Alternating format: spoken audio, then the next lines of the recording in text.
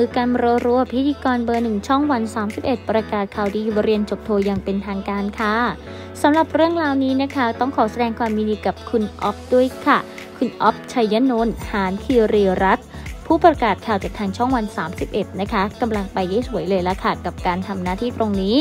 เก็บล่าสุดชาติตัวสวมใส่ชุดคุยพร้อมทั้งระบุว่า จบโทอย่างเป็นทางการครับ เรียนเชิญทุกท่านมาถ่ายภาพพร้อมกันได้นะ ในวันอาทิตย์ที่ 11 ธันวาคม ที่มสวประสานมิตร เวลา 15นาฬิกาถึง 17นาฬิกาครับ หน้าสตาร์บัคก่อนละกัน ใครหาไม่เจอโทรมาหรือไลน์มา DM มาได้ครับ ทางทีมงานต้องขอแสดงความยินดีด้วยค่ะ